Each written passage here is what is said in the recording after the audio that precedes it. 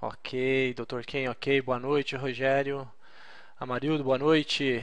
West Paulo, tamo, estamos com bastante pessoas online. Jardel, olá, Valéria. Bacana te ver por aqui. Firme e forte, pessoal bem fiel, bem assíduo, bem comprometido, né? Legal. Terça-feira, 4 de fevereiro de 2014. Já foi um mês contábil embora de 2014, já passou janeiro, começa fevereiro, só faltam 11 meses para acabar 2014. E Copa do Mundo, eleições e manifestações à vista. Boa noite, Walter, Jardel. Boa noite, Gustavo. Obrigado pela oportunidade, pelo apoio, estar aqui com vocês. Para quem não me conhece, sou o Júnior, sou professor aqui da parte fundamentalista na Equipe Trader. Apresentando para vocês, a Equipe Trader é uma das melhores escolas de traders do Brasil. Esse aqui foi o nosso último curso no dia 30 do 1, que falava sobre day trade. E a Equipe Trader é fundada pelo Hamilton Ribas, também a HR Investimentos é dele, e pelo Osney. Ela nasceu com o viés de análise técnica. O Osney desenvolveu análise técnica, desenvolveu um método de análise técnica e começou a trabalhar fortemente neste método. Todos os dias às 17h30 ele faz um encontro diário de análise técnica. Vocês podem observar aqui o detalhe da do convite que é feito para análise técnica todos os dias. Vocês estão todos convidados, acredito que alguns aí já participem, já estejam firmes e fortes acompanhando o encontro diário. E quem não estiver, está aqui o convite para vocês. Vale muito a pena. Se você quiser ter acesso a uma área restrita, use a opção Cadastre-se. Você vem fazer parte da equipe Trade, cadastro é totalmente gratuito e você vai ter acesso a uma área em que temos apostilas, temos livros, temos planilhas, temos relações, checklist, muita informação para quem quer começar a estudar. A equipe Trader disponibiliza muito material gratuito, muito, muito material gratuito para você começar a se empolgar, para você começar a perceber o que precisa, caminhos precisa ter. Depois que você fez esse test drive, que você é, conheceu o material, que você percebeu que está precisando de mais informações, e aí as informações começam a ficar num nível avançado, você pode adquirir um dos cursos da Equipe Trader.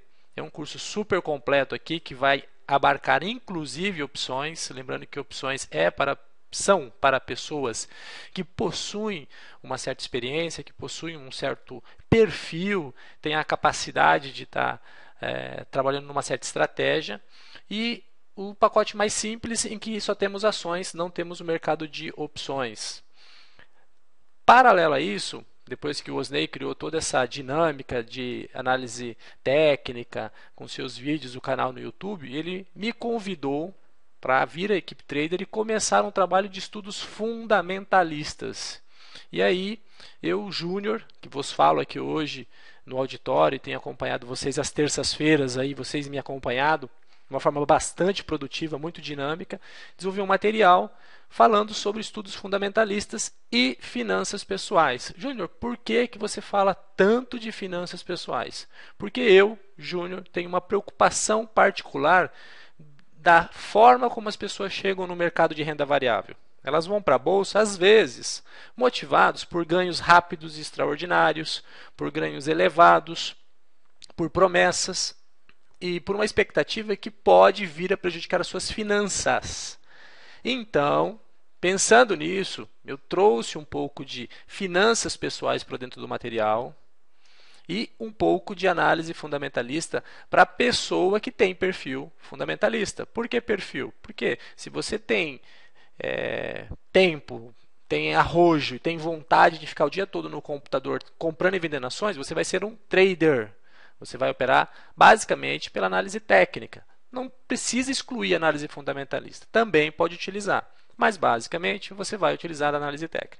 No entanto, se você quer comprar por longo prazo, você quer ser sócio da empresa, você vai trabalhar com as ferramentas fundamentalistas, para você ter acesso à informação para tomada de decisão. Então, este aqui é o material do curso Formação de Investidores e Análise Fundamentalista, os DVDs de finanças pessoais. Aqui eu falo sobre juros e mercado.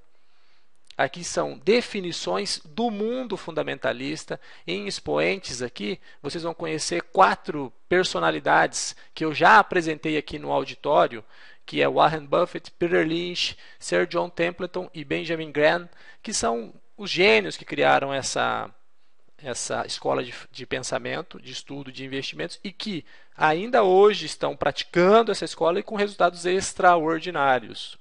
Então, essa aqui é a oportunidade de você conhecer a essência. E aí, a parte técnica, que são os eventos contábeis, propriamente dito. Você precisa conhecer demonstrações contábeis para você aprender a ler sobre a saúde da empresa, saúde financeira e econômica da empresa. As demonstrações contábeis e o DRE nos contam como a empresa tem se comportado ao longo do tempo, como ela tem pensado e gerido os recursos que entram e saem é, do seu caixa, da sua estrutura, do seu negócio, do seu business. E isso nos ajuda a avaliar se ela tem visto, tido ou não bom desempenho. Relembrando para os amigos que estão aí na primeira vez no auditório, nós fizemos dois auditórios exclusivos estressando e explorando o assunto DRE. Lembrem-se, a gente mostrou um gráfico que nós desenvolvemos aqui, comparando diversas empresas sobre o aspecto da geração de receita e da geração de lucro. Agora, semana passada e essa semana, nós estamos explorando uma questão da DRE, que é o lucro e os seus dividendos, ou seja, a distribuição desses lucros para os acionistas, que é um viés que toda pessoa que quer viver de dividendos ou pensa em análise fundamentalista se preocupa. Os dividendos são uma das formas de tomada, são uma das variáveis, né? não é uma das formas, umas variáveis levadas em contas pelo investidor para optar ou não por uma ação. E terminamos aqui o conjunto de DVDs com os indicadores, que são construídos a partir das demonstrações contábeis. Eles são montados aqui a partir do zero. Pessoal, se você nunca montou um indicador, não sabe como calcular, com este DVD, nesta aula, tendo uma planilha Excel na sua ou uma planilha eletrônica qualquer à sua disposição e uma conexão com a internet. Apenas essas duas ferramentas você precisa ter. E obviamente, este curso, né, que se ele que vai lhe dar as orientações, você consegue montar do zero uma planilha Excel com vários indicadores, na verdade 26 indicadores fundamentalistas que você pode passar a avaliar de uma empresa. Então você monta, calcula e entende esses indicadores com este material de DVD. Só que você só consegue fazer isso se você tiver participado do anterior, que é entender as demonstrações contábeis. Então tudo está conectado. Você passa pelo mundo de finanças, você passa pelo mundo conceitual da análise fundamentalista, mergulha no balanço, mergulha na DRE e da DRE nós extraímos alguns indicadores que nos ajudam na tomada de decisão. Este foi o material e um DVD de bônus com algumas é, algum material que possa complementar os seus estudos. Feito isso, a apresentação aqui do nosso material. É, a gente sorteou semana passada um, dois. Sorteou não, né? Eu coloquei um cupom de desconto para dois kits. E aí duas pessoas tiveram a oportunidade de comprar este material com desconto de R$ 89,00, saiu por R$ 200,00 para cada um. Quem tiver interesse em obter algum desconto na aquisição do material, por estar aqui na equipe, na, no auditório da DVFN, numa terça-feira, às 9, 10 da noite, estudando, merece um incentivo, merece um, um, apoio da nossa parte. Então pode mandar um e-mail para nós, dizendo, ó, oh, o Júnior falou que ia dar um desconto, a gente pode manter aquele cupom de desconto de R$ 89,90 para que vocês possam acessar esse conhecimento, guardar, porque em DVD vocês ficam para vocês, é, vocês podem passar para os filhos, vocês podem passar para um primo, dar de presente é, não tem problema. E você pode consultar a qualquer hora, você pode re, é, rever este conteúdo, pode anotar. Fica confortável para você também assistir no momento que você quiser, na sua casa, na sua televisão ou no seu computador. Ok? Então, quem quiser participar é, deste mundo fundamentalista, quiser conhecer mais, fica aqui o convite para que vocês nos acompanhem aqui às terças-feiras é, e também no nosso, através do nosso curso.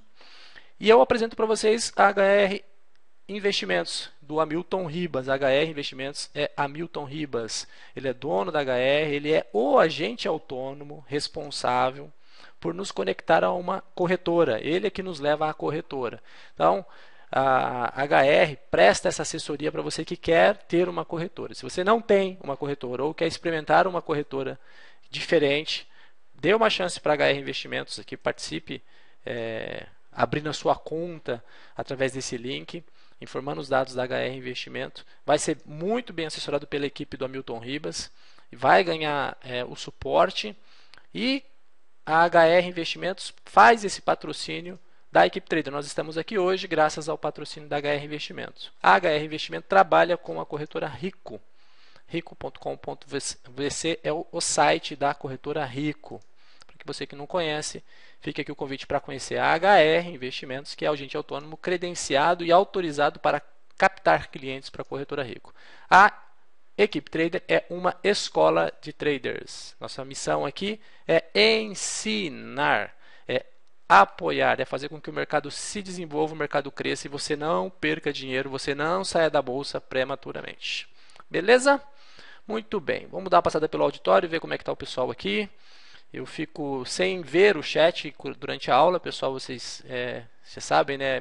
É difícil a gente manter as informações a mesma tela ao, ao mesmo tempo, então fico devendo uma resposta talvez online para você.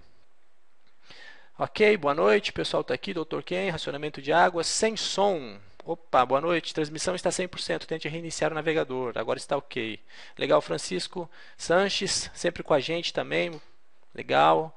O Osnei e o Matheus, eu acompanho eles no encontro diário todos os dias, excelente analistas gráficos, verdade. O Matheus, o Matheus é a cria do Osnei, é um menino que está sendo treinado aqui, está afiadíssimo, inclusive ontem no auditório ele participou e foi muito bacana, foi muito bem elogiado aí é, a participação do Matheus. Garoto bom, garoto que já está com um método já há quase dois anos na corrente sanguínea, já ficou craque. Então ajuda bastante no desenvolvimento. Bacana, Júnior, temos alguns papéis interessantes para esse dia. Temos sim. Posso adiantar para vocês os nomes enquanto não coloco a apresentação no ar. Oi, Tim, Vivo, B2W, Itaú, Bradesco e Pan-Americano. Então, se você tem curiosidade aí para estes papéis, eu vou. Esses serão os que eu preparei para o dia de hoje. Estou anotando aqui é, CCRO, BRML, BRBK, Mills e Brasil Pharma, que esse aqui eu me recordo bem, estou, estou anotando aqui para a gente discuti-los na próxima semana. Ok, então já estou colocando aqui o auditório da próxima semana, pedido aí do Nogueira. Acredito, né? esses papéis, ok? É, vixe, toda hora dá uma paradinha. Depois a gente precisa verificar isso. Também tem aqui um pedido do JSN010, dois papéis e LET 3. LET 3 nós já conversamos em alguma oportunidade aqui, mas podemos voltar ao assunto até porque todo mundo quer saber se a Eletrobras vai voltar a ser o que era ou não. Muito bem, excelente pessoal. Vou novamente deixar o auditório aqui em segundo plano, o, pelo menos o chat. Boas-vindas a todos vocês aí. Vou iniciar uma aula através de uma apresentação e volto, assim que possível, para o auditório para a gente conversar mais um pouquinho, alternando entre a matéria e a discussão, para a gente enriquecer aqui o nosso estudo e tornar ele um pouco mais dinâmico. Afinal, eu não os vejo, é, não é muito simples, não é muito fácil darmos uma aula ou passarmos informação sem estar recebendo um feedback da plateia. Então, eu procuro, sempre quanto possível, estreitar esse espaço com vocês. Pode ser assim? Muito bem. Legal, vamos em frente.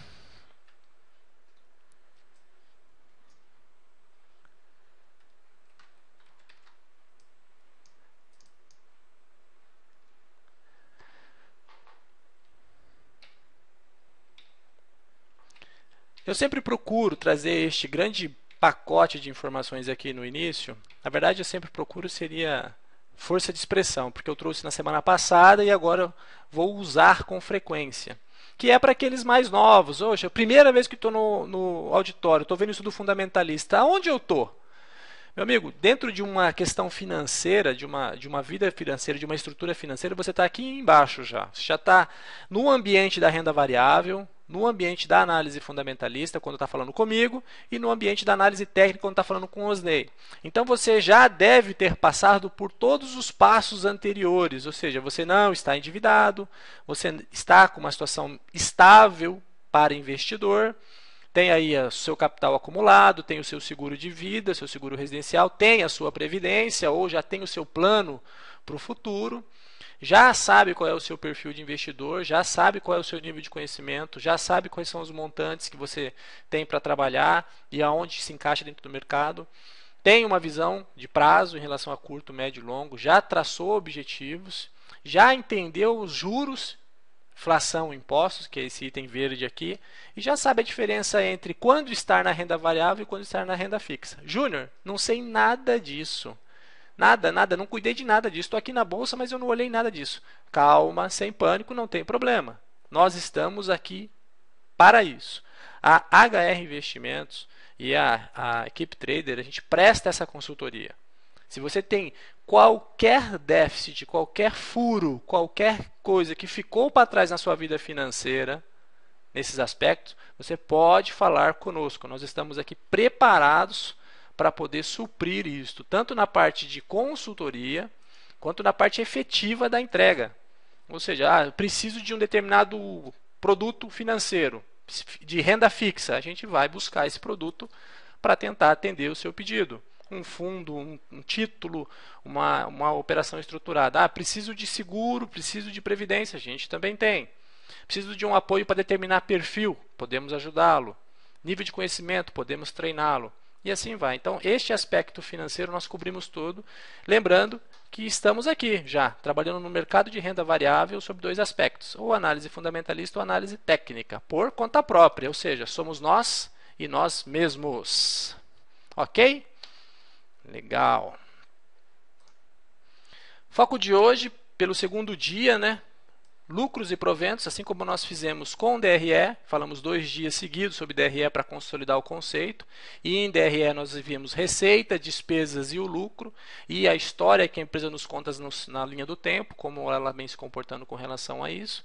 O foco de hoje, pela segunda vez, será lucros e proventos, ampliado, né, enriquecido mais um pouco para a gente consolidar esses aspectos. Lucros e proventos são importantes, sim, mas nós vamos ver hoje que não são tudo, que não é tudo ou seja, que não, não se deve basear apenas em alguns indicadores, mas sempre num pacote mais amplo. E em estudos fundamentalistas, pessoal, cada caso é um caso. Não dá para ficar é, você generalizando muito. Alguns aspectos sim, mas intrinsecamente cada empresa tem a sua história para contar. Né? Aqui um conceito sobre lucros e o que pode acontecer com eles. Nós já conversamos semana passada e fica aqui rapidamente para quem quiser rever e sobre os proventos, que podem ser em dinheiro ou em ações, no caso em dinheiro, dividendos, juros sobre capital próprio, e em ações, bônus de subscrição, grupamento e desdobramento. Perfeito? Falamos do Bradesco, só para recordar, como o Bradesco tem a política de pagar dividendos, como paga mensal e quanto isso gera de yield para o investidor, deve estar bem pequeno para vocês enxergarem aí, mas seria em termos de yield 2.7 e 3.33, e que isso aliado as questões de bonificação, que no caso foram 10% no ano de 2013, faz com que o seu rendimento com este proventos seja de 12,7 e 13,33 em 2013. Então, quem investiu no Bradesco, independente do comportamento da ação, teve este rendimento de 12,7 e 13,33. Quem pensa no longo prazo se preocupa muito com isso e pouco com o valor do papel. Ok? Só isso aqui foi uma é, uma, uma recap, recapitulamos, né, Júnior? Poxa, então trava-língua aqui agora. Recapitulamos o que conversamos na semana passada. Empresas que vocês nos pediram, foi pedido de vocês aí através de e-mail e através da própria sala de aula. Lembrando que eu não consigo ainda, ainda, pessoal, fazer online, ou seja, vocês pedirem no momento eu já entrar aqui, pegar os dados e mostrar para vocês. É, nós estamos com a nossa plataforma em desenvolvimento ela não está pronta e eu tenho utilizado aqui os dados que a gente coletou no Fundamentos. Para quem não conhece, o Fundamentos é um site que disponibiliza gratuitamente informações sobre alguns dados fundamentalistas das empresas, fundamentos.com.br, muito bom, gosto muito, me ajuda bastante em alguns aspectos, mas paralelo a isso a gente está criando um portal é, que tenha mais informações, que tenha mais conteúdo, que tenha mais avaliações do que o Fundamentos para a gente poder utilizar uma ferramenta que nos atenda um pouco mais dentro da nossa estratégia. Mas enquanto isso, pegamos os dados neste colega aí que faz um bem para o mercado é, disponibilizando esse conteúdo. O que, que nós trouxemos aqui? Hoje nós vamos falar de comunicação, Oi, Tim e Vivo. É, não sei se de propósito vocês combinaram ou não, mas acabaram que foram esses os pedidos que chegaram. É, B2W, que foi um pedido que eu me lembro bem da frase que o colega falou assim, Júnior, por que, que B2W subiu 40% é, em um dia e mais 11% no dia seguinte? Eu olhei aquilo e falei, nossa, preciso dar uma olhada nisso, que até eu fiquei curioso para saber por que, que a B2W teria dado um salto tão grande assim no seu resultado. E aí, Três bancos, porque banco também foi um pedido que nós que foram feitos aqui. A gente conversou sobre alguns pequenos, é, se não me falha a memória, estava no, no, processo. E agora colocamos dois grandes, Itaú e Bradesco. Na verdade, dois grandes não, né? dois gigantes. E coloquei o Pan-Americano para dar uma olhada nele, inclusive porque o papel está voltando num patamar histórico interessante. Um patamar histórico no passado interessante. Tudo bem? Então essas foram as empresas que eu já previamente me preparei para passar com vocês hoje. As que vocês vierem a pedir, a gente pode colocar para a próxima semana ou comentar eventualmente se eu tiver a informação pronta aqui. Oi, estamos falando de 2007, ok? É um gráfico aqui que tem duas informações, lucros e proventos. O lucro está em azul e os proventos estão em verde. O gráfico começa em 2007 e vai até a última publicação que ela fez, que foi setembro. Ela não publicou o ano de 2013. Em azul, nós temos os lucros e em verde, os proventos. Vejam que há algum tempo que a Oi está pagando mais proventos do que lucros. Mas, Júnior, eu não entendi como é que ela faz isso. Se ela não teve lucro, como é que ela distribui mais do que ela lucrou? Provavelmente porque ela tem esta reserva anterior de lucros que ela não distribuiu. Isso ficou acumulado, registrado, Pode também estar antecipando lucros futuros, o que não, não seria muito saudável, mas enfim, cada, cada empresa com a sua estratégia. E agora ela está pagando mais proventos, distribuindo mais recursos do que efetivamente lucro ela tem dado. Então, se a gente firmar os olhos aqui no lucro e fizer uma linha, nós vamos ver que os lucros estão caindo. Olha só, caindo fortemente. Do trimestre Vamos, vamos fechar aqui de 2012 para 2013. 2013 foi muito ruim. Não sei como ela vai fechar este espaço no final do ano. Mas até então os números apontam para uma empresa que, no que pesa estar pagando 20% de provento, até porque o papel caiu bastante e fez esse número subir. Ou seja, só de provento foi 20%. Oxe, que beleza, hein, Júnior? Mas o papel, a cotação do papel, não permite você fazer essa conta simplesmente. Eu vou mostrar no próximo slide. Eu trouxe também a cotação por conta dos pedidos de alguns alunos que estão acostumados em ver o gráfico e estarem familiarizados e querem fazer uma junção da análise técnica com a análise fundamentalista. Então acaba facilitando o entendimento e a, e a junção desses dois métodos de pensamento. Eu costumo falar que a análise fundamentalista determina o que ou seja, aquilo que eu quero, aquilo que vai, vai me fazer bem. E a análise técnica diz o quando, ou seja, quando este papel vai estar tá bom para eu comprar, quando que ele vai estar tá num, num patamar de preço interessante. Então essa junção é uma forma que eu tenho de pensar. Visto isto, vamos ver agora como é que estaria o gráfico da OIBR. O gráfico da OIBR vem sofrendo há muito tempo. E vou falar anos. Não sei se vocês conseguem ver com clareza, mas o gráfico aqui começa em 2007. Nessa região aqui nós estamos falando de 2007. E vai até agora 2014. É uma, é uma linha suave, mas ela é uma clara baixa de longo prazo. Ou seja, no longo prazo, porque nós estamos olhando no gráfico mensal, a história dos preços da companhia mesmo que oscilando com momentos de, de alta e os momentos de baixa, eles são preponderantemente de baixa. O mercado no longo prazo, e longo prazo mesmo, já estamos falando de 7 anos, desde 2007 a 2014, vamos completar 7 anos este ano, o mercado não vem acreditando na empresa ou não vem vendo a empresa crescer é, como gostaria, faz uma análise muito dura da empresa e, mesmo alternando, vem derrubando o papel. Então, mesmo que você ganhou dividendos, é uma conta complexa, porque se as operações foram feitas nos topos, pode ter tido momentos amargos aqui. Se você eventualmente conseguiu ser um alguém que conseguiu identificar bons fundos, pode ter feito boas operações. E pela viés fundamentalista estaria complicado, porque até nós elegêssemos a empresa, não encontraríamos, não encontraríamos um momento. Lembra que eu comentei agora há pouco? Se tivesse no crivo fundamentalista ela sido aprovada, falar, ah, ok, vamos investir. Quando fôssemos procurar o momento de entrar no gráfico, que é o quando, né, teríamos dificuldade de encontrar. Okay? Então a Oi no que pese distribuir absurdos dividendos, vou voltar ao gráfico. 20%, está pagando muito, está deixando muita gente feliz. No contexto geral de investimento a longo prazo, não nos mostra é, uma boa, um bom conjunto. Não mostra um bom conjunto de é, interessante para se fazer. Vamos ver a TIM. A gente tem que desconsiderar esse. Não é que desconsiderar, para não poluir ela teve um evento não recorrente aqui que acabou gerando uma, um evento, uma contabilização diferente. Então a gente tem que pensar sem esse evento não recorrente aqui, que foi um, um lucro que ela contabilizou é, em função de, de, de, não necessariamente em função de receita que entrou, né?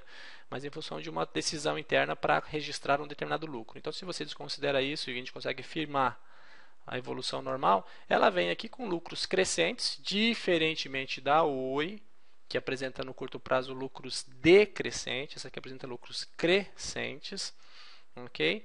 E vem com seus proventos muito bem pagos também, abaixo, bem abaixo do que entrou de. Mas Júnior, por que, que a Oi paga tudo e a TIM não paga nada? Isso aqui é uma questão de estratégia, pessoal. Se ela não está pagando tudo em proventos, ou ela está acumulando isso, ou ela está reinvestindo isso na empresa, está voltando para a empresa como reinvestimento, ampliação tecnológica, aquisição, qualquer motivo.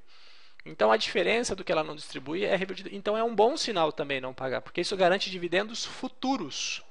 Uma pessoa que pensa fundamentalista, ela olha agora, procurando resultado agora, mas também pensa em resultados futuros ok? E aí o número é baixo, né? perto da Oi, 2,4% de yield, principalmente porque o papel, esse número aqui tem relação com a cotação, vem subindo muito aí no médio prazo, vamos dizer assim, né?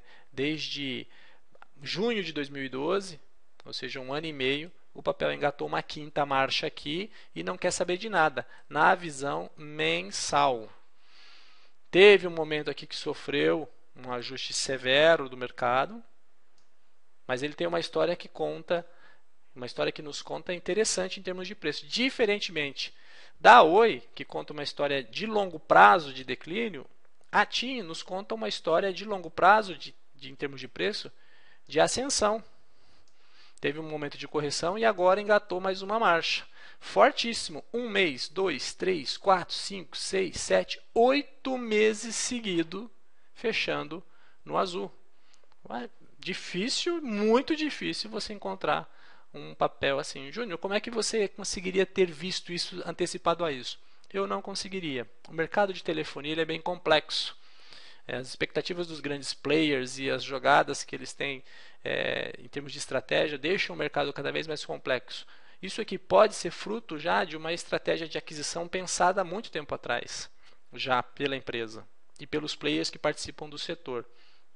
Mas tem um alinhamento aqui entre esse bom resultado e o bom resultado que ela apresenta nos números. Não é incoerente. Ok? Ah, Júlio, mas ela distribui pouco dividendo, não sei o que em relação a Oi. Mas ela tem uma coisa chamada consistência. Consistência. O investidor gosta disso. Você gosta disso. Você gosta de olhar para a empresa e ver ela pingando dinheiro no seu caixa? Sempre. Você fica feliz quando você vê uma empresa consistente. Agora, o mercado também não é, gosta muito de inconsistência. Tudo bem? Vamos dar uma olhadinha na Vivo para fechar esse quadro de telecomunicações? Opa, houve aqui um. Vamos corrigir aqui, não tem problema. Este detalhe técnico. Ok, Vivo está aqui. Muito bem, já voltou. A Vivo está com 12% de yield, um número muito legal, muito interessante. A Vivo é recomendada pra caramba pelos analistas. Eu leio e vejo que volta e meia ela faz parte da carteira de dividendos de muitas corretoras. Aí, por conta que ela paga muito dividendo, vê que ela é extremamente generosa nos dividendos dela. Tem pago mais dividendos igual a Oi, acima do lucro.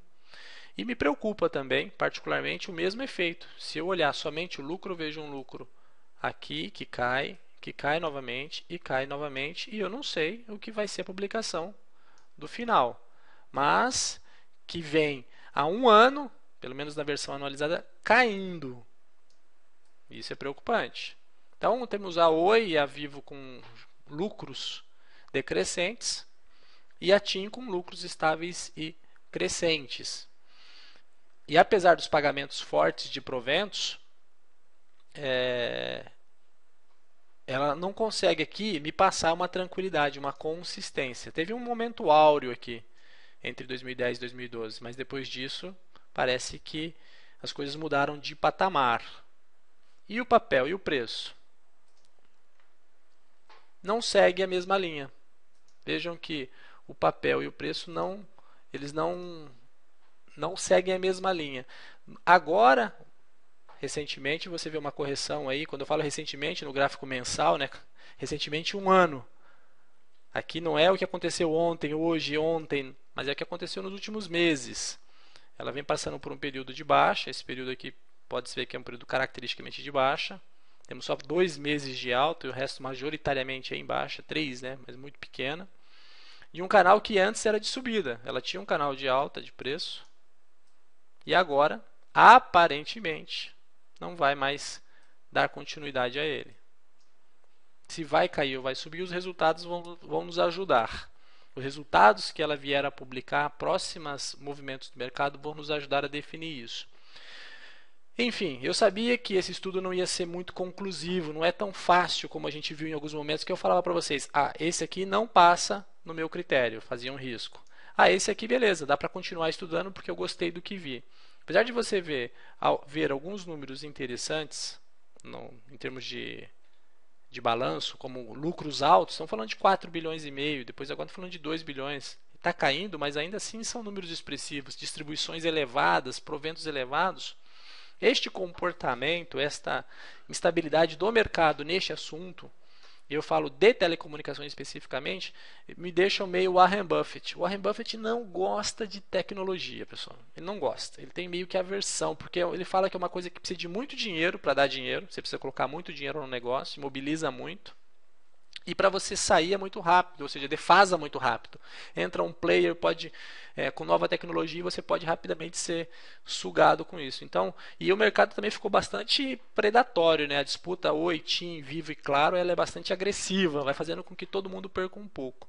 Então, se você perguntasse para o Warren Buffett se ele investiria nessas empresas, ele com certeza falaria que não, porque não é a praia dele. Ele prefere comprar fábrica de doce, gilete, Coca-Cola, coisas simples, que não precisem de grandes investimentos, somas de capital para poder fazer, é, para poder viver. E eu olhando a, os números que ela apresenta, olhando o comportamento de preço, fico na mesma situação de indefinição. Fico com dificuldades de ver claramente é, uma projeção futura, tanto de preço quanto da empresa. Você não vê uma empresa crescendo consistentemente e também não vê um papel muito é, atrelado, muito firme aos, a, pelo menos a estes fundamentos. Pode ser que a outros ele seja. Vamos fazer um, um panorama geral, como se fosse um mosaico para a gente avaliar isso daqui. Seria mais ou menos assim, né? Aqui em cima teremos a Oi, a TIM e a Vivo, com 3 bilhões e meio, vamos olhar aqui, 1 bilhão de resultado, tô, estou nessa linha aqui, né, 1 bilhão de resultado. A TIM com 1 bilhão e 400 e a Oi aqui com a Oi não, perdão, a Vivo com entre 2 bilhões e meio e 2 bilhões aqui anualizado, sempre lembrando que isso é anualizado.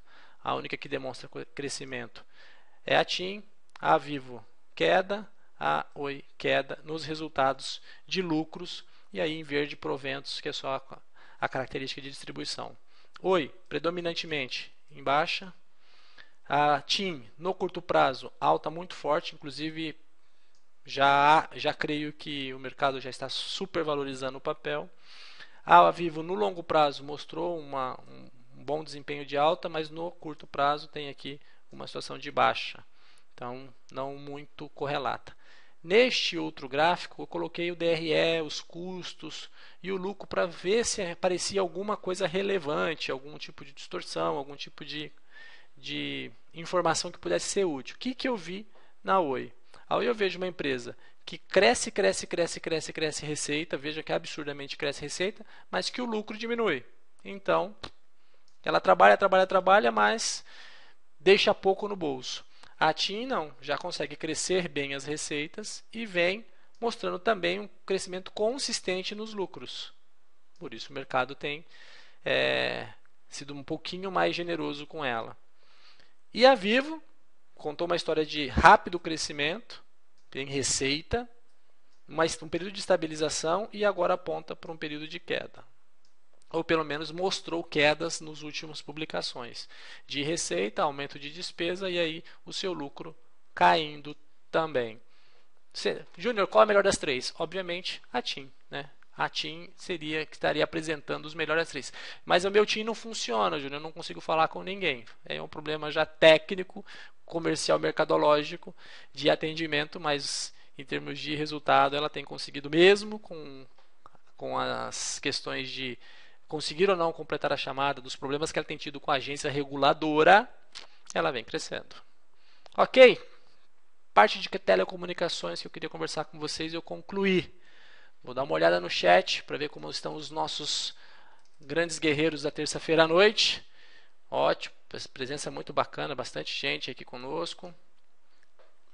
Eu vou passar pelas últimas perguntas para ver se algum colega deixou aqui. O Nogueira deixou os papéis que eu já anotei para a semana que vem também os da Elet, Gol não tinha notado, Gol apareceu sendo pedido também, acho que semana passada, não, retrasada.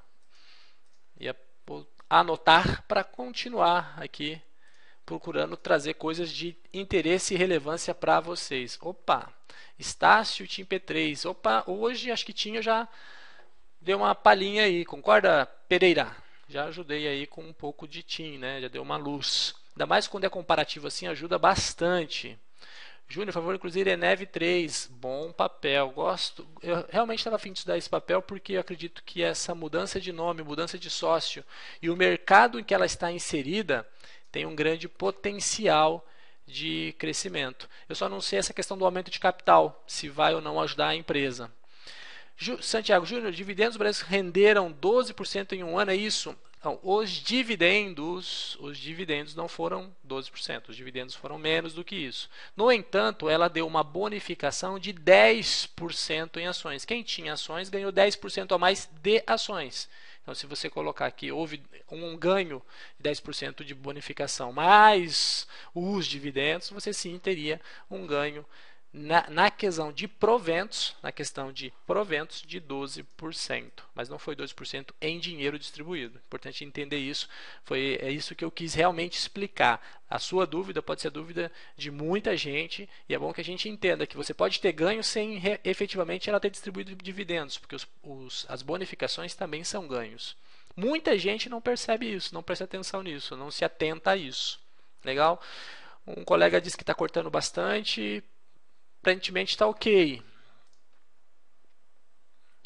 Uh, Santiago Júnior, se possível, faça uma análise da Alpa 4 para a próxima semana, se não for possível hoje. No, Santiago, anotado aqui, vamos para a próxima semana, porque hoje realmente é, não vai ser possível. Não vou conseguir preparar o material, até porque o nosso sistema não está online.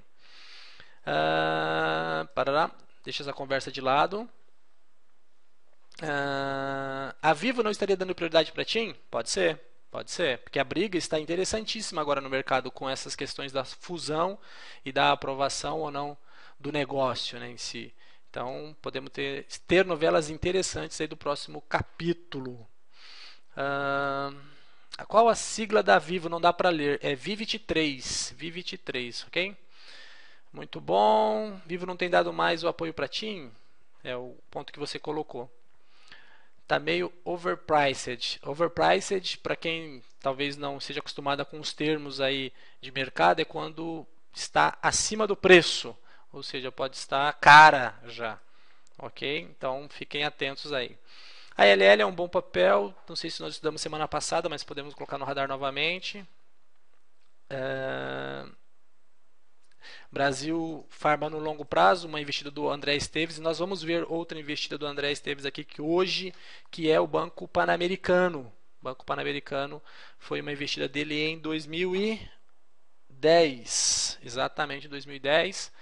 E hoje nós vamos falar um pouquinho do papel, vamos ver, vamos ver como é que está a empresa em si.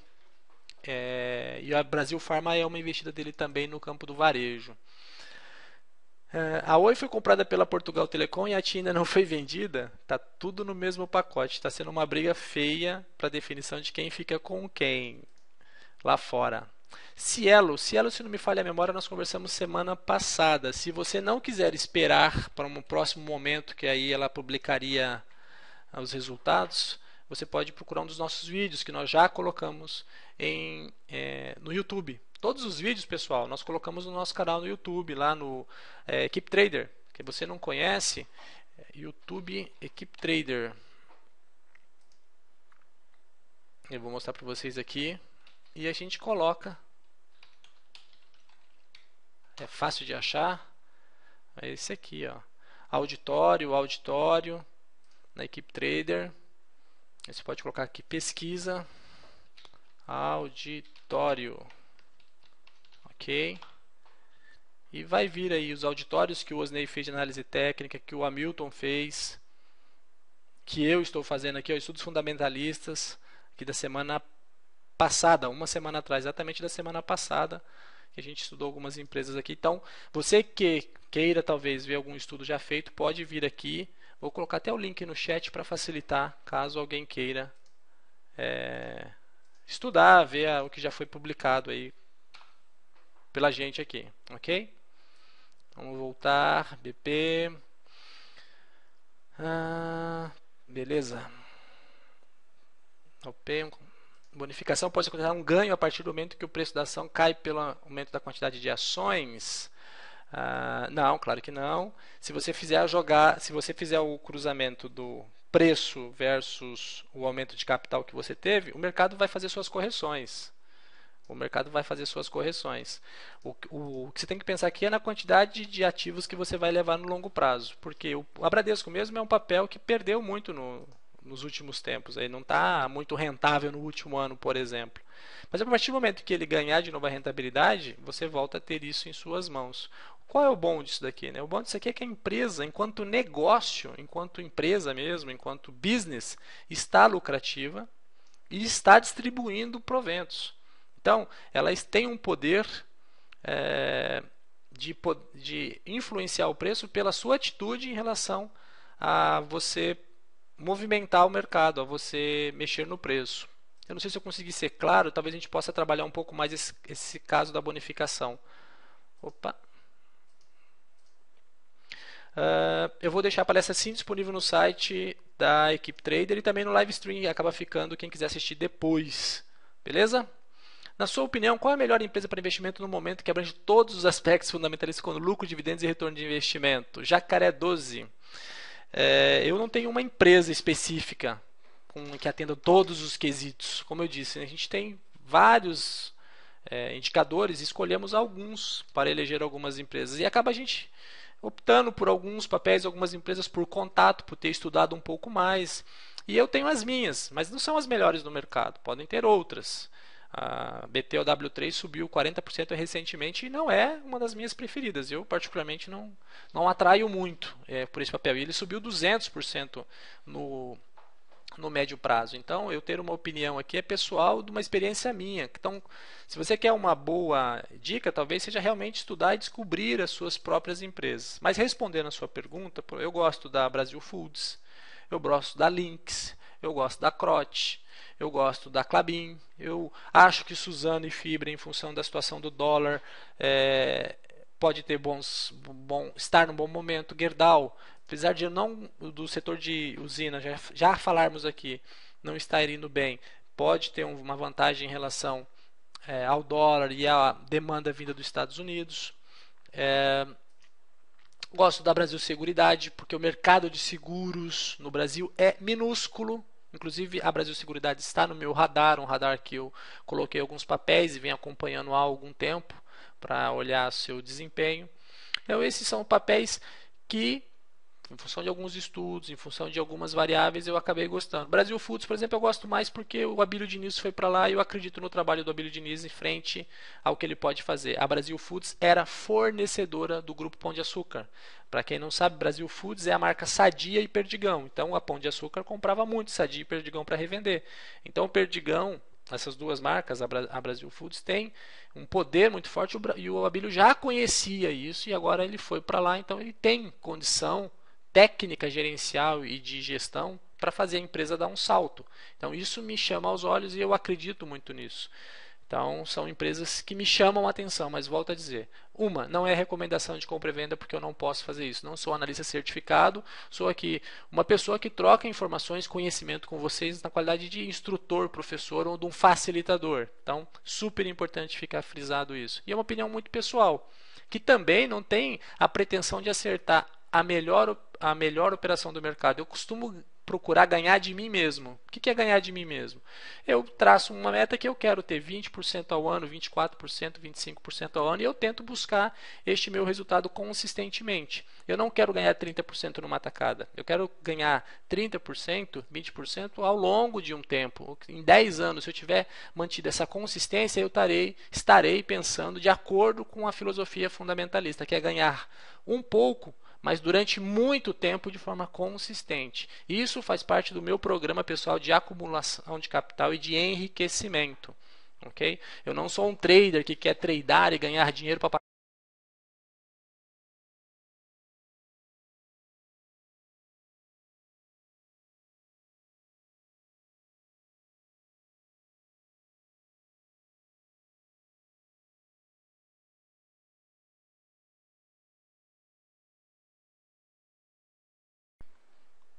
Alô, alô?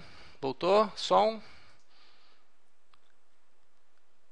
Ok, ok, ok, ok.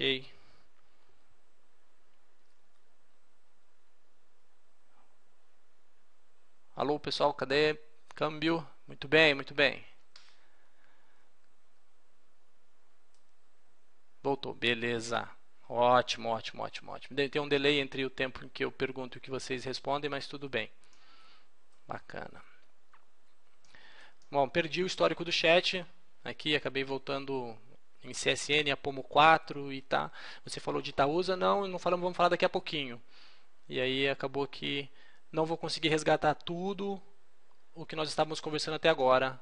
Tivemos aí um, um problema técnico, provavelmente na hora que eu fechei o auditório aqui com o Backspace, houve uma corte, um corte no som também. Muito bem, a pergunta é: será que a Dilma et al. deixam esses nossos planos de enriquecimento se concretizarem no futuro? Muito boa pergunta, né? Muito boa pergunta. lá, lá. Eu não gosto de entrar em questões políticas, até porque eu sou um pouco radical.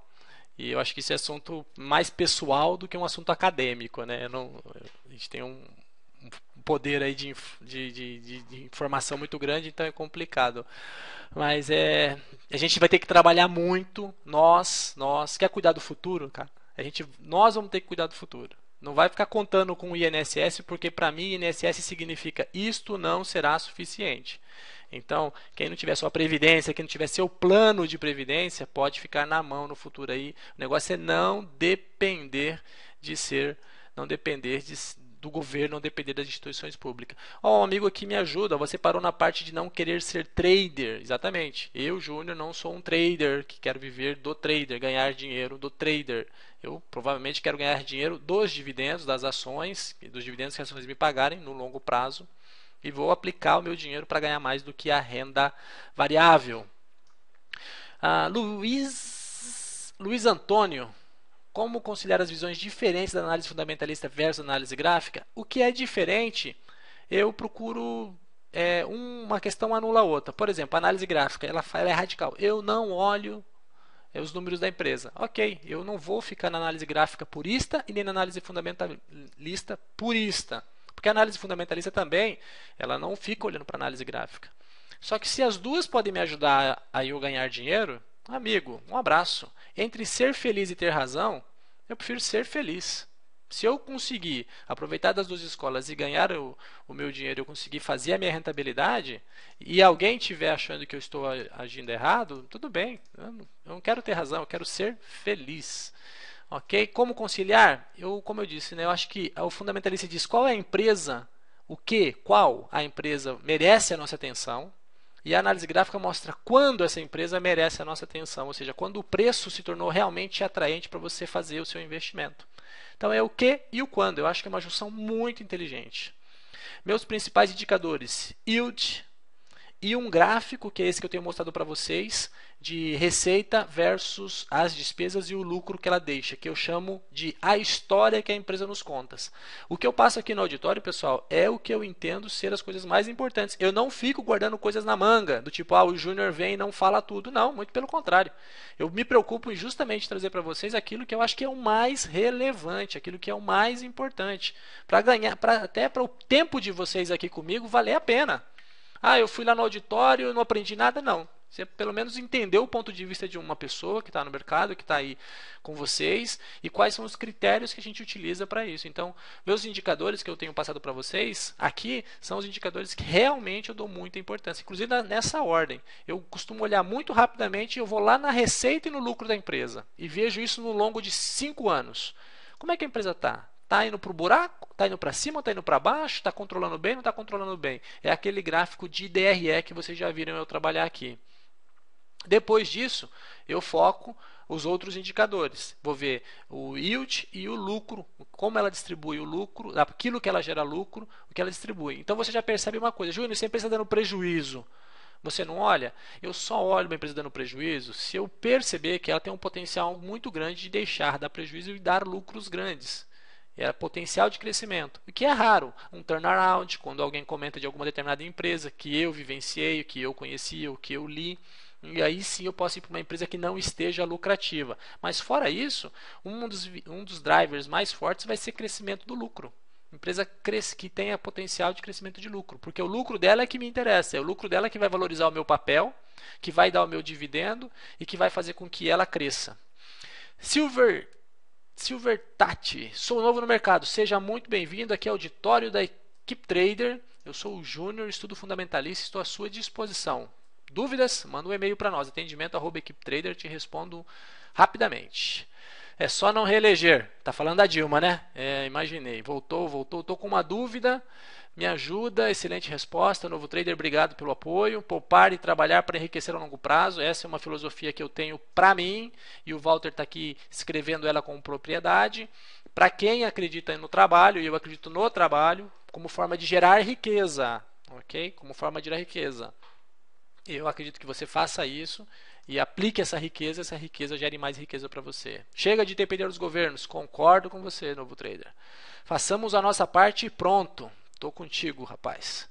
Onde você tem aplicado recentemente? Quais papéis? Ok, eu tenho um blog chamado fundamentalista.com.br. Eu não tenho é, feito atualizações sistemáticas e aqui no radar eu coloco as informações sobre os papéis que eu acabei escolhendo para poder fazer um acompanhamento. Eu chamo isso aqui de uma carteira de acompanhamento.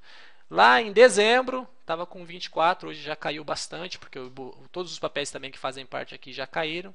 E a gente tem lá Vale, Clabin, Abev, Fibre, Suzano e a Brasil Seguridade. E além daquelas outras que eu comentei que gosto, mas que não estão aqui simplesmente porque não dá para você, é, não dá para mim ficar estudando muito de muitas empresas. Nós somos humanos e somos limitados. Nós temos que trabalhar com uma coisa chamada priorização. Entendeu, pessoal? Não adianta ficar dando tiro para todo lado, querendo acertar todos os, os tiros, acertar todas as, a, as operações e querer ganhar de todo mundo no mercado. Quem buscar isso vai se estressar à toa, vai se cansar à toa. Por quê? Porque você não está lutando contra ninguém no mercado, você está lutando contra você mesmo. Então não importa que alguém ganhou 200%, se preocupa com quanto você consegue ganhar. E tente ganhar acima do tesouro direto, tenta ganhar acima da inflação. Conseguiu fazer isso, você já está no lucro, você já está fazendo a coisa certa. Agora, se você está perdendo dinheiro, para tudo, começa de novo. Não sai do mercado de renda variável por conta disso, porque é nele que você vai ganhar acima da renda fixa. Só vai conseguir enriquecer para valer na renda variável, tá? Na renda fixa você vai demorar muito mais tempo. Mas na renda variável você precisa estudar e aplicar bem esses conceitos para você se dar bem. Então, pessoal, uh, meus papéis são aqueles e volto a dizer, não tenho preocupação de que ela seja melhor, é, melhor, melhores papéis do mercado ou não. Para mim tem que ser um papel que não me dê prejuízo, que me deixe com uma rentabilidade acima de um determinado valor, ok? Uh, Uh, chega de depender de onde você tem aplicado recentemente. Então, estes são os que eu tenho escolhidos. E volto a dizer, não pode considerar como uma indicação pessoal, porque é, isso é um estudo. Eu, esses papéis eu uso para estudar o comportamento daquele. Inclusive, fiz um outro estudo. Vou falar para vocês aqui em primeira mão. É um estudo. Eu não sei se vai dar certo ou se vai. O que será deste estudo? Mas é, a gente construiu aqui um laboratório. Vamos ver se eu consigo chegar nele rápido. Laboratório. Vamos ver se eu vou conseguir mostrar para vocês aqui. Ah, ok, laboratório. Postei dia 30 do 1, ok? Olha só o que eu aprontei aqui, pessoal. Peguei todas as empresas que tinha no, na Bovespa. Na Bovespa, incluindo o Ibovespa. Então, todas as 427 empresas. Peguei todas, todas, todas, todas que estavam lá. Coloquei elas dentro de uma planilha e fiz alguns indicadores. Ó, o objetivo desta página é fazer uma avaliação de médio prazo levando em conta alguns critérios fundamentalistas. O processo era bem simples. Hoje, dia 30 de janeiro de 2014, peguei as empresas listadas na Bovespa, ou seja, todas as empresas e não apenas as que fazem parte do Ibovespa, e apliquei alguns filtros de exigibilidade, ou seja, para ela participar, ela precisa passar por estes filtros. Os critérios de filtros também foram extremamente simples yield positivo, ou seja, ela tem que distribuir alguma coisa para os seus sócios. Tem uma margem EBIT positiva, ou seja, ela gera dinheiro através do próprio negócio dela, porque ela pode ter uma EBIT negativa e mesmo assim dar lucro. Ou seja, ela está ganhando dinheiro fora do core business dela. Então, ter um EBIT positiva ou uma EBITDA, se você quiser, elimina esse tipo de empresa que está jogando com ganhando sem ser no jogo que ela se propôs a jogar. Margem líquida positiva é a mesma coisa que dizer lucro, porque a margem líquida é resultado de lucro pela receita, então se a margem líquida é positiva, ela teve lucro. Uma liquidez corrente acima de 1, ou seja, eu sei que ela não é muito endividada no capital no curto prazo. Patrimônio líquido positivo, óbvio. Eu posso ter empresa que fez isso e está com patrimônio negativo, meio improvável. Mas até para dizer que isso é um critério importante. Dívida bruta pelo patrimônio de no máximo três vezes, arbitrei. Por que três vezes, Júnior? Porque eu acho, e o mercado também, assim, na maioria, que três vezes, em alguns casos, é um limite máximo que alguém poderia estar pegando dinheiro de fora para colocar dentro da empresa. Eu sei porque esse dinheiro de fora tem que ser remunerado. Se eu remunero o dinheiro dos outros, eu deixo de remunerar o meu. Então, três vezes o meu contra o de fora seria um bom número. Então, quem tivesse acima disso, poderia estar representando um certo risco, eu deixei de lado. Crescimento de receita maior que 10% nos últimos 5 anos. Então, pega 5 anos. A receita foi crescendo mais que 10%? Foi. Então, uma empresa que, sem eu olhar os gráficos, ela me parece ser uma empresa interessante. Coloquei esse filtro. Gente, eu coloquei o filtro e não olhei, para você foi muito sincero isso com vocês. Este filtro resultou em 90 empresas que atenderam aos critérios de um total de 427, ou seja, somente 21% das empresas passaram por este filtro. Olha que, que informação. É um filtro muito pesado? Eu acho que não.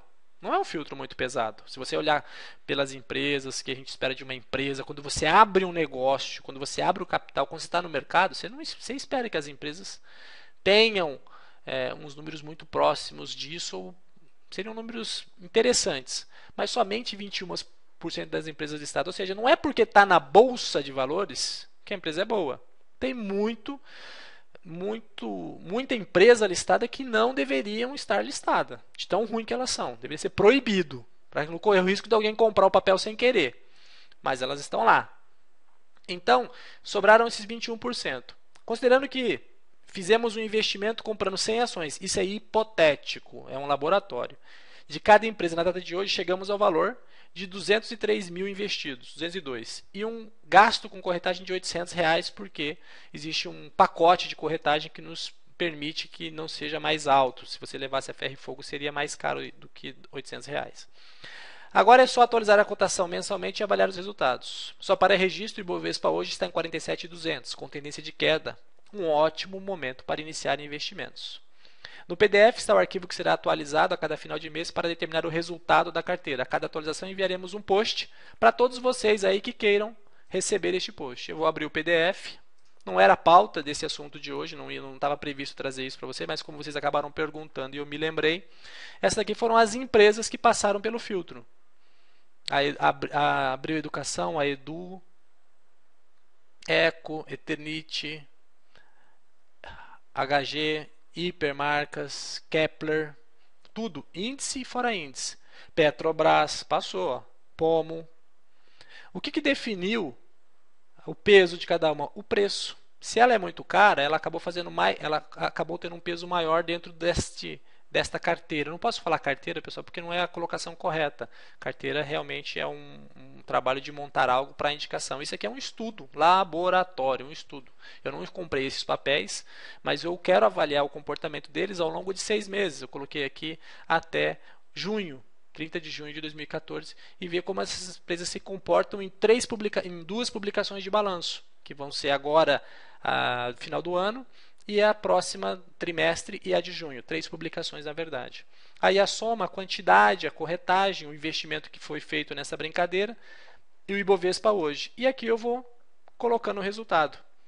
Eu tenho uma expectativa muito grande de que esses simples filtros, esses, esses simples filtros aqui serão suficientes para nos dar, em termos de cotação, um bom resultado. Principalmente porque o Ibovespa está bem bem baixo. Ele está 47 mil pontos, ele está bem baixo do que é o esperado. Eu acredito aí nos 40 mil pontos em função da crise de 2008, eleições, manifestações e coisa e tal, mas também não acho nada abaixo disso. Eu acho, é uma opinião do Júnior, do colega que está aqui conversando com vocês. Ok? Obrigado pela oportunidade. A pergunta de vocês me levou a este estudo. Espero que se vocês é, gostarem, vocês possam é, até contribuir também, acompanhando, comentando, para compartilhar com a gente. É, Agolive, acho que respondi a sua pergunta, né? Acho que consegui aí responder a sua pergunta. Deixar o comentário político de lado, tá bom, Francisco? Sem, sem juiz de valor da minha parte.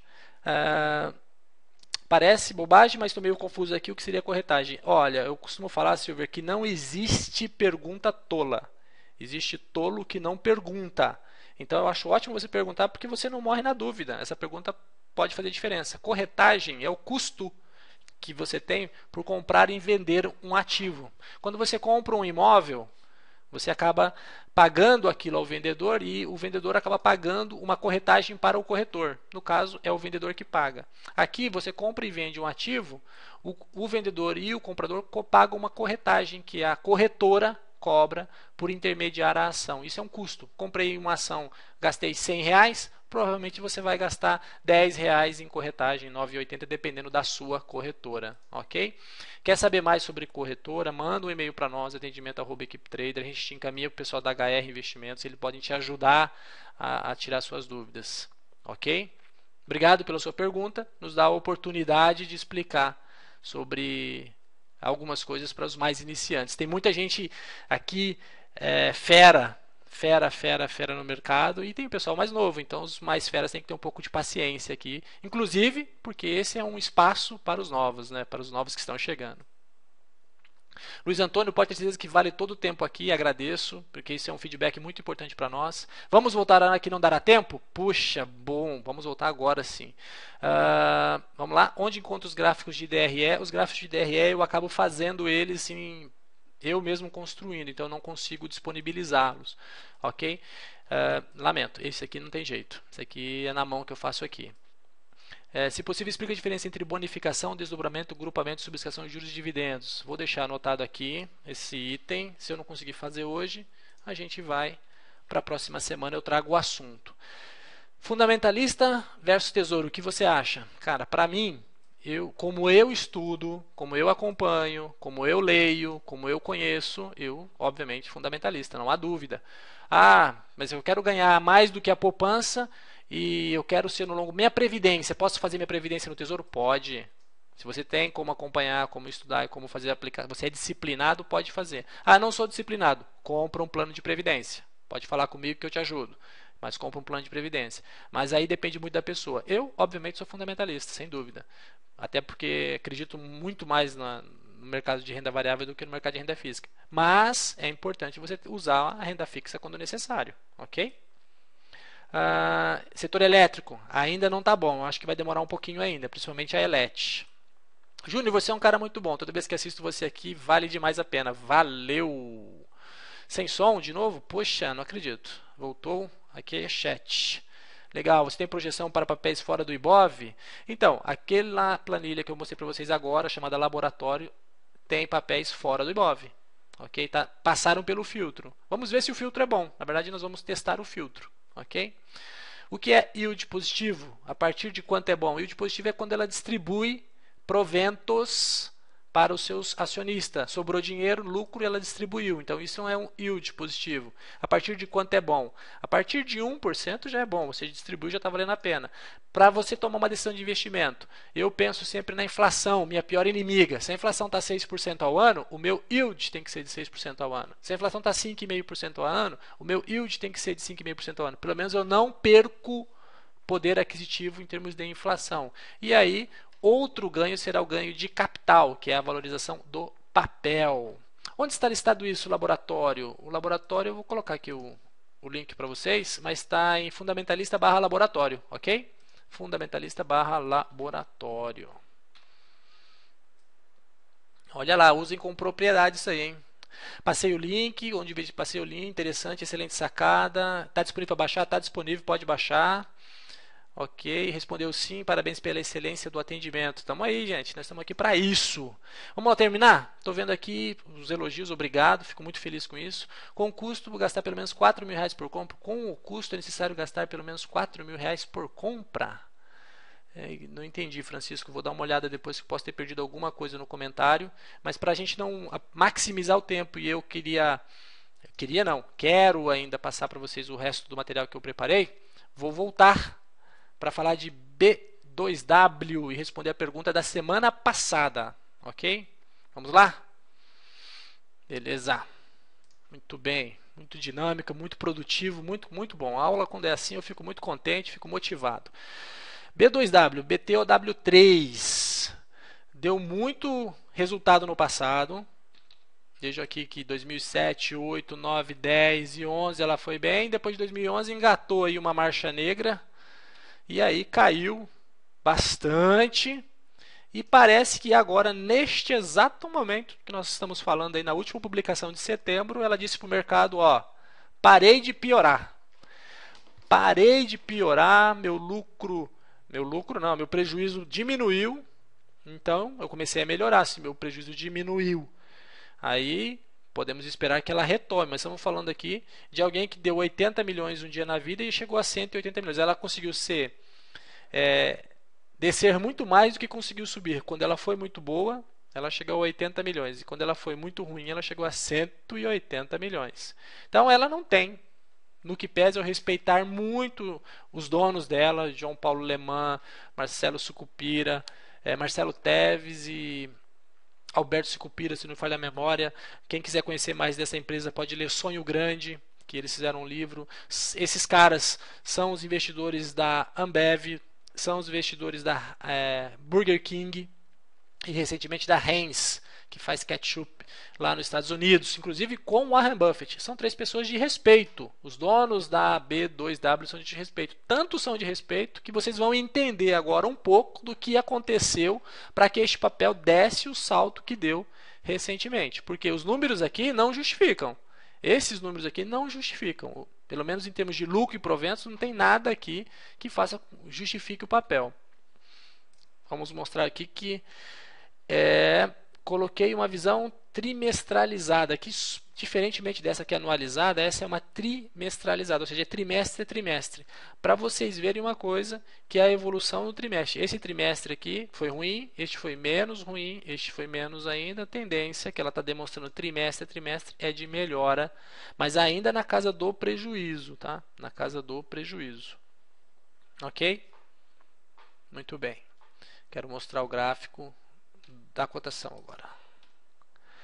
Já valeu R$ reais. Já valeu R$ reais. E aí 90 foi em setembro de 2007. 50 foi em setembro de 2009, por aí, tá, pessoal, mais ou menos. E depois disso, queda já chegou a bater seis reais gráfico é bom por causa disso, né? Um período de queda grande, que assim faz jus ao, ao momento de crise que ela vivenciou, né? Se ela teve um momento ruim, aí está refletido no preço, o mercado foi lá e cravou isso no preço dela. Muito tempo caindo, muito tempo caindo, muito tempo caindo. Uma recuperação. Coincidentemente, se vocês olharem aqui é janeiro, muito próximo de janeiro, janeiro, aqui é janeiro, os momentos de inflexão. Nós estamos em janeiro de novo aqui, quando aconteceu esta barra azul. Essa barra azul aqui é um movimento muito forte, muito grande de reversão. Vejam que essa valorização aqui é significativa de 6 para 22 reais aí em um ano, menos de um ano, aí porque se é de maio, é mais de 200% de valorização. O papel deu um salto gigantesco. Mas por quê? Júnior. Por que está acontecendo isso? Que número, os números não mudaram. Ela está com as mesmas dificuldades de centro de distribuição, de custos elevados, de não distribuir lucro. Todos esses problemas continuam. No entanto, olha só, pessoal. Ela conseguiu uma capitalização dos sócios no valor de 3 bilhões e 400 milhões de reais. Ou seja, vai entrar dinheiro novo na empresa. Uma das pessoas, das pessoas não, os sócios atuais vão colocar dinheiro e eles trouxeram um sócio novo para o negócio. A Tiger Global Brasil, que é o, o fundo global da Tiger, que hoje já tem Netshoes e peixe urbano dentro do seu portfólio, vai colocar destes 3 bilhões e 400 aqui que nós estamos comentando, vai colocar 459 a 1 bilhão e 200 no negócio. E sabe a quanto a Tiger falou que vai pagar no papel, ela falou que vai pagar 25 reais. Quando ela falou isso, o papel estava 62% abaixo do preço de mercado na época. Então o preço estava lá, ela falou assim: vou pagar 25. O que, que o papel fez? Ué, se um gigante mundial avaliou a B2W, vai colocar um bilhão e meio, e para colocar esse um bilhão e meio ele diz que paga 25 reais por ação, por que, que o mercado brasileiro, os analistas brasileiros estão cotando ela 62% abaixo deste valor. Então o mercado rapidamente foi buscar o preço do grande gigante, do grande tubarão que entrou ou que está entrando aí na B2W. A Tiger é acionista da Amazon, maior varejista online do mundo. Até faltou o mundo aqui. Faz algum sentido, pessoal? A Amazon e a B2W trabalham no que segmento? No mesmo segmento.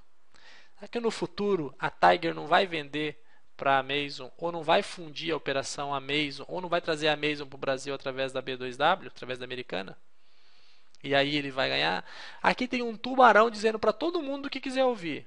Eu acredito nessa empresa. Tanto acredito que eu compro a ação dela muito mais cara do que vocês mesmos aí estão negociando. E eu ainda vou colocar 1 bilhão e 200 de reais. Meio meio bilhão de dólares, vamos dizer assim. Como essa empresa tem 6 bilhões de dólares investido no, no, no, no mundo, meio bilhão é praticamente 10%, to, menos de 10% do capital dela numa operação. Então, é, são valores agressivos, são valores pesados e que aí me ajudou a entender o porquê que sobe 40% e depois sobe mais 11%. Este tubarão, esta grande sacada aqui fez com que o papel impulsionasse. Ok? Não sei se todo mundo estava a par dessa informação, saiu bastante no noticiário no mercado. É... E a dúvida é agora: quem tem razão? O mercado, que hoje continua vendo números ruins, fracos para operação, ou os donos, que vão colocar mais dinheiro na empresa, e a Tiger. Lembrando que ela já teve uma capitalização de 1 bilhão em 2011, que não trouxe o resultado ainda. Eu acho que esses peixes aqui, esses tubarões, não costumam perder. Eles fazem de tudo para não perder. Mas o mercado é soberano, né, pessoal? Aí é da, é da estratégia de cada um decidir em que, em que barco pegar, em que acreditar. É, e aí pode ter desdobramento dessas, desses assuntos, podem ter é, outros assuntos serem é, trazidos à tona, os números podem realmente estar melhorando significativamente, mas com 3 bi e 400 no caixa, dá para fazer muito investimento para poder gerar retorno. Pode comprar muito mais com mais desconto, pode fazer muita coisa com dinheiro no caixa. Com dinheiro fica mais fácil você fazer tudo numa empresa. Investir em tecnologia, negociar preço com fornecedor e coisa e tal. Facilita muito a vida dela. E só o fato de ter 3 bi em caixa já muda o preço da ação, porque os ativos sobem, colocou caixa lá, os ativos sobem, e aí você tem uma valorização normal do papel. Espero ter respondido a pergunta da semana passada do amigo sobre a B2W. É, no que pese eu, para mim, fica, fica dentro daquelas operações que eu converso com vocês. Não me chama atenção para eu continuar estudando, aprofundando, porque eu não tenho essa tranquilidade, mesmo que valorize 200, 300, 400%. Eu não vejo problema em não participar deste crescimento. Prefiro continuar olhando os meus, os meus papéis, continuar olhando aqueles que eu já estudei, que eu peguei uma certa facilidade de entender e ganhar menos, mas com tranquilidade, sem estresse, no meu ritmo. E também lutando contra mim mesmo. Eu não quero bater o mercado, ganhar mais do que todo mundo no mercado. Não, já disse isso, vou repetir com certeza. Eu quero ganhar o máximo possível para mim mesmo e que isso me remunere por bastante tempo. Vamos fazer o banco rapidamente aí, a gente tem um tempinho para passar por eles, os gráficos são mais simples. Itaú conta uma história bonita para gente, é uma marca fabulosa, é uma empresa de respeito, gosto muito, extremamente eficiente no mercado, concorrente árduo, trabalhei em banco, Itaú sempre foi meu concorrente, nunca trabalhei no Itaú, trabalhei sempre contra o Itaú, sempre foi um concorrente duro, uma das marcas mais valiosas do Brasil, o Itaú e a Bradesco, e vocês veem o resultado, é sempre muito expressivo, né? 4 bilhões, depois 9 bilhões, 11 bilhões, é, e agora de novo passou por um período aí de, de acomodação e demonstra crescimento novamente, paga proventos de uma forma bastante expressiva, pelo, em função da ação acaba não sendo muito relevante, 3,2%, não é nada que seja uma maravilha, mas Olha a consistência do resultado, olha a consistência dos proventos. Isso dá muita tranquilidade para você entrar para a empresa no longo prazo. Como que você acha que vai estar o Brasil financeiramente daqui 10 anos? Você acha que o Itaú vai estar emprestando menos ou mais dinheiro? Vai ter muito mais gente na classe média, na classe alta, vai ter muito mais municípios com banco, vão ter mais produtos, eles vão ter melhores condições. É certo que o mercado financeiro do Brasil é forte e vai continuar se desenvolvendo. O estrangeiro não consegue é, fazer banco aqui no Brasil. O estrangeiro apanha muito, vide Santander. Vamos avançar? Preço do Itaú em termos de cotação. Hoje, né, nesse, num período grande aqui, aos últimos três anos, está mais para dividendos do que para qualquer outra coisa, porque ficou numa zona realmente muito tranquila, muito de congestão, como fala na análise técnica. Essa aqui é a crise de 2008, né, o pedaço da crise de 2008, a retomada e depois um período de estabilização. Então você vê um movimento de subida, uma correção aqui e agora parece que houve uma retomada. Topos e fundos ascendentes, um pouquinho de análise técnica aqui, um pivôzinho de alta, tá vindo para já rompeu a resistência, está num topo histórico. Se se segurar as pontas aqui, pode voltar a querer desenvolver uma tendência de alta no longo prazo. O gráfico é mensal, então estou falando de meses de observação aqui. E se eu tivesse ganhando dividendos, estaria muito tranquilo, não estaria nem um pouquinho chateado, nem desesperado com o papel, não. Obviamente, é, ainda não estaria ganhando, colocando grandes ganhos. Mas é um papel e uma empresa que não, não vai, pelo menos não parece que vai é, criar uma história que não possa ser contada com bons olhos. E nem para o Bradesco, né? São dois extremamente eficientes. 11 bilhões, 12 bilhões, bem mais, inclusive bem mais consistente que o próprio Itaú, né? Bem mais, você vê que é mais suave. Bom distribuição de proventos, já falamos sobre ele no começo, 3 ponto alguma coisa também, média do mercado, né? Os dois grandes players na mesma precificação acaba fazendo isso, né? Ah, quanto vale? 3 e pouco, então o mercado ajusta preço, cotação e acaba os números acabam se encontrando, não acabam variando muito. Então, é, é sim, muito simples, né? Você olha o gráfico, olha os números, é muito tranquilo no que pesa as oscilações naturais do mercado, volatilidade, crise aqui de 2008, pega o Bradesco também. O Bradesco parece um pouco mais consistente em termos de longo prazo. Vejam que ele é mais firme, né? o canal dele é mais firme. E este daqui são momentos sofríveis, né? Vejam que é raro, mas sofríveis. E os últimos um, dois, três, quatro meses tem sido também muito ruim para a empresa, não tem sido um bom momento. Mas no âmbito geral, se você falasse, Júnior, poxa, Bradesco vai falar, ó, tá justamente num bom momento, né? Em termos de empresa, tá justamente num bom momento. Voltou ao que era em 2010, 2011, né, em termos de patamar. Eu acho que não é a mesma empresa que era lá em 2010, 2011. Vejam, não acho que ela seja essa mesma empresa aqui para valer o que ela esse valor aqui hoje. Ela já evoluiu muito desse tempo aqui.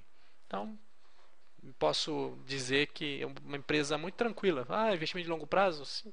Passaria no meu filtro. É isso que eu acho que é o resumo da história. Passaria tranquilamente no meu filtro para eu continuar estudando e achar o momento de investir. Ainda mais que paga mensalmente. Olha, principalmente agora.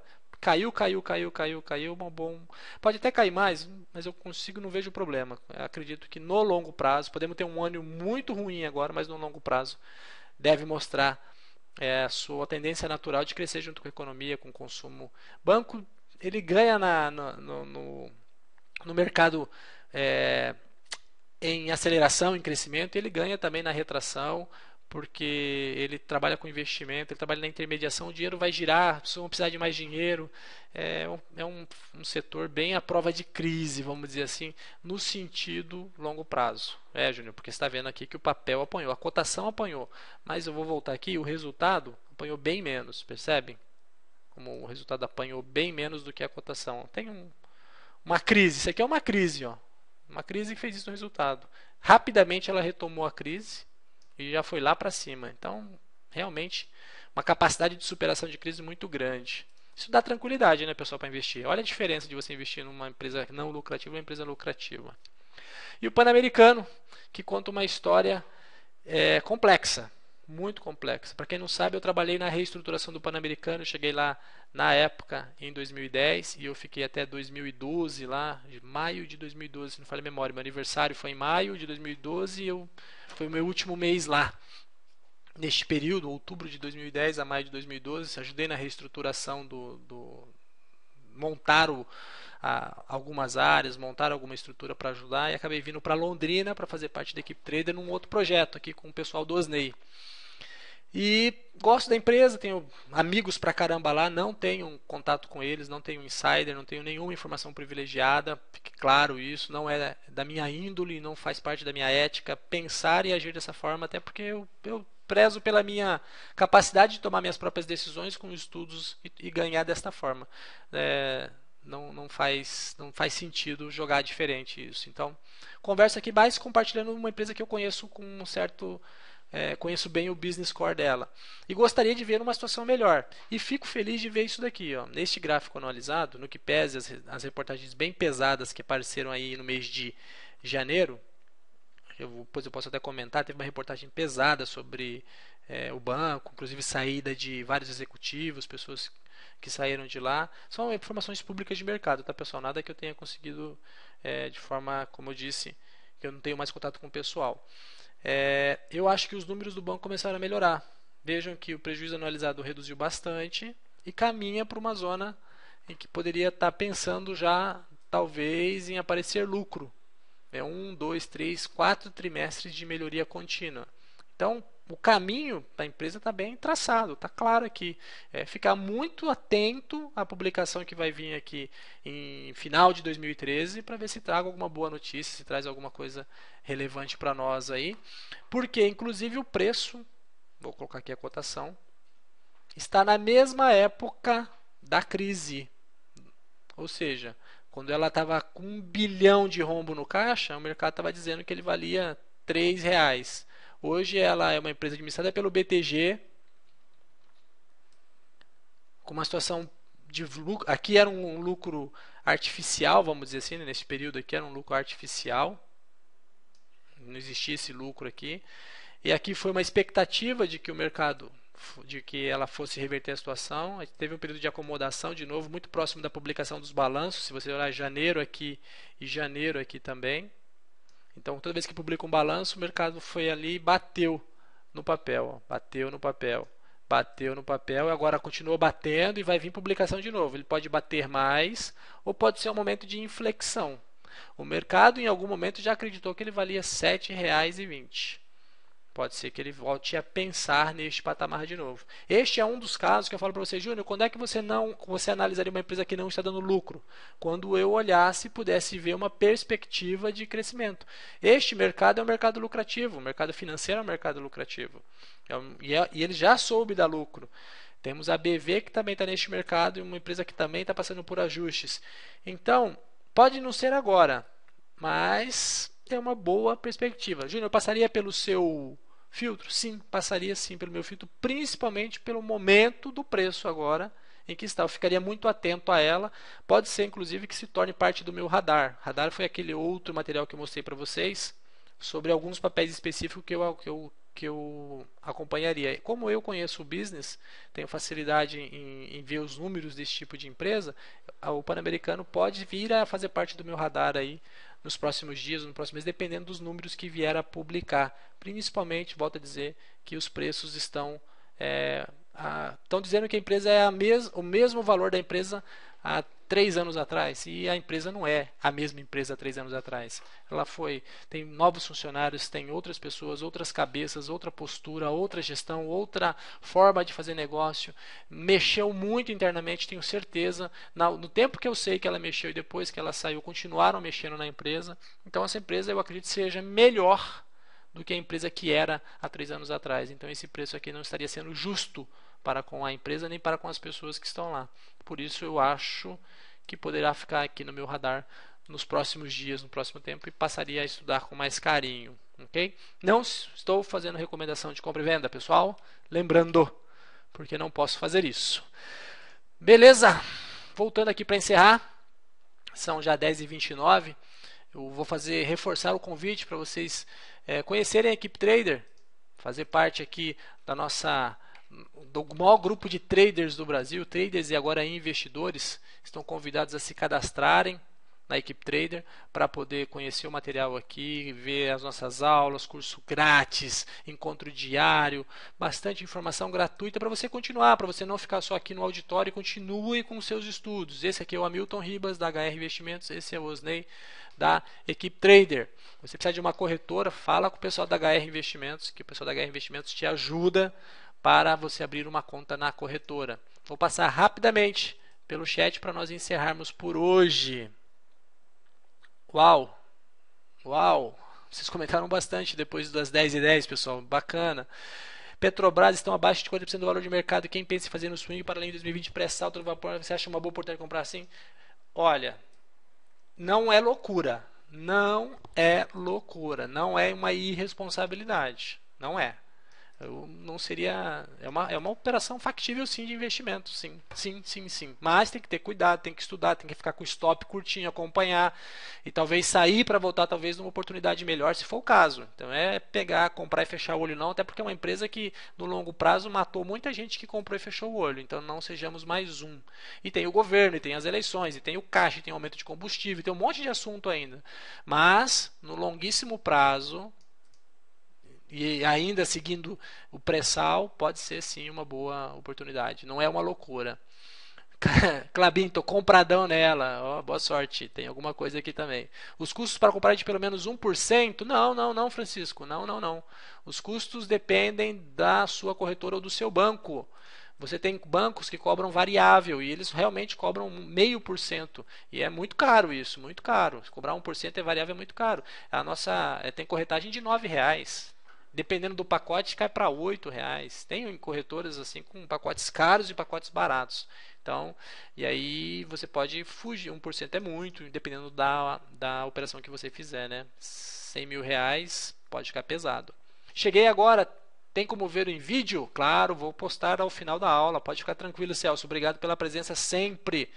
Muito bem-vindo, mesmo atrasado, não tem problema. Estou interessado na Itaúsa, você vai comentar? Bom, acabei comentando o Itaúbi, né? Itaúsa, acho que eu falei da semana passada, eu comentei agora sobre o banco especificamente. Fica para a próxima, beleza? Houve um aporte muito grande na B2W recentemente. É isso aí, Bruno. Colaborando aí com o comentário que eu fiz. Use 5, vamos lá, comentei semana passada, sombrinha, se você quiser, comentei aqui onde você pode buscar no YouTube, é, Keep Trader, eu coloquei auditório, vou colocar o link novamente aqui na sala, se vocês quiserem pegar. Beleza? Muito bom. Hoje a aula foi. Tem dias que vocês estão mais afiados e aí exigem mais de mim e acaba que a aula fica muito mais dinâmica. Então hoje foi um desses dias. Fico feliz quando isso acontece. Bem bacana mesmo.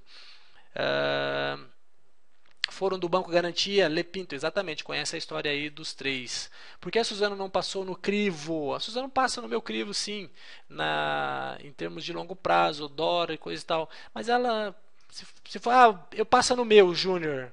Mas é porque eu estou sendo um pouquinho negligente com ela, estou dando uma moral para ela, estou deixando ela, estou sendo um pouco tranquilo, porque a ferro e fogo não deveria passar, entendeu? Não deveria, até porque tem outros papéis que seriam mais atraentes, com números melhores para eu estar tá prestando atenção. Mas como eu me eu envolvi com Fibra e Suzana e as duas me pareceriam que seriam beneficiadas, eu acabei deixando ela no meu no meu radar, mas particularmente por, vamos dizer assim, por um critério meio frouxo.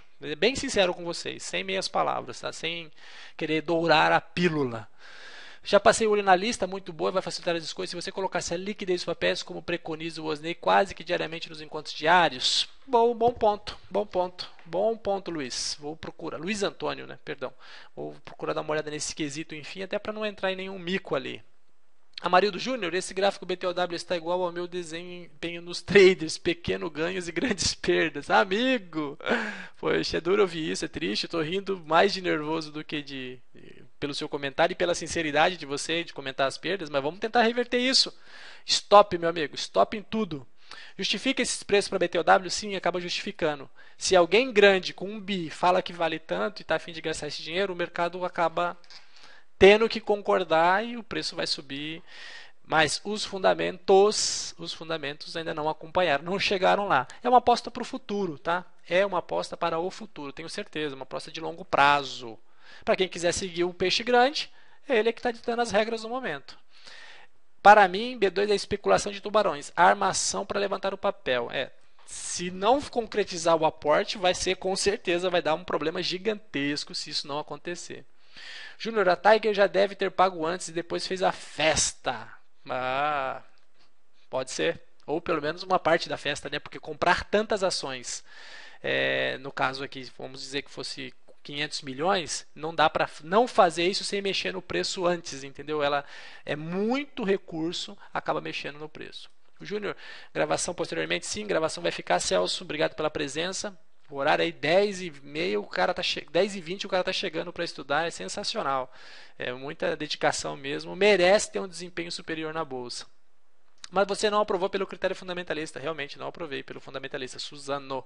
Volto a dizer que foi mais uma questão de expectativa dólar futura, é, dólar futuro, exportação de celulose, do que necessariamente os números dela, tá? É, você tem razão, você está me pegando bem, você está prestando muita atenção e está conseguindo realmente me pegar firme e forte aí. Uh, o Itaú também não está no, no, no crivo fundamentalista. Uh, eu não olhei a planilha no detalhe, não sei se o Itaú passou ou não passou lá. Provavelmente os meus filtros tiraram instituições financeiras por conta do, do planilha Excel utilizada. Mas também não me preocupei com isso, porque eu realmente quero fazer um negócio bem simples, no sentido de ver quanto que os, alguns fundamentos podem fazer com um conjunto de papéis. Pessoal, o meu gráfico travou, não sei se o de vocês travou ou não, tá? mas o meu travou aqui. De repente vocês não estão nem me ouvindo. Acho que estão sim, beleza. Uh, entre o Bradesco e o Banco do Brasil, terá melhor quadro geral? Acho que o Bradesco. Banco só perde quando sofre intervenção do BC. É isso aí. Em média, quantos dois vem pagando de proventos incluindo dividendos? Uh, os valores eu sei em percentual, não me atentei aos valores financeiros, vou ficar te devendo essa. Toda hora fica carregando, valeu, deu minha hora, fui, valeu, cara. Por que esta empresa Tiger não preferiu pagar o preço de mercado no dia? Ou seja, não parece algo estranho? Sim, parece, mas ela não conseguiria colocar 1 bilhão e 200 na, na, no mercado sem fazer com que o papel subisse e provavelmente até maior do que isso. Então, é melhor, acredito, fizeram isso. A mesma pergunta da Petrobras, grande investimento de captação, pensa em fazer um swing dele em 2020, disse que não seria loucura. Está mais difícil de acompanhar apesar do Júnior. Está mesmo difícil de acompanhar apesar do Júnior. Hoje parece que está meio ruim em algumas pontas, né? Ok. Carregando. Parabéns, Júnior. Abraço. Ok. O pessoal está na despedida aqui, né? HR Corretora, foi isso que você disse? Opa, se eu disse isso, desculpa, foi um lapso de dicção. A HR é agente autônoma de investimento que é uma pessoa autorizada a captar clientes para a corretora. E ela trabalha com a corretora Rico. Ok? Então, perdão se houve um lapso da minha dicção aí na hora de falar. Pensei e falei uma coisa diferente. Infelizmente faltou tempo, mesmo assim a melhor palestra. Obrigado, grande abraço a todos. Excelente, ótima aplicação didática, esclarecedora. Júnior, salário aumentar, quero receber. Ok, Júnior. Obrigado pelos elogios, galera. Verdadeira aula. Ah, obrigado pelo aumento de salário aí, hein? Vou cobrar o Osney. Vou cobrar mesmo. Pessoal, agradeço aí. Já são 10h38, passei um pouco hoje. Obrigado pela presença. Um forte abraço e fiquem com Deus.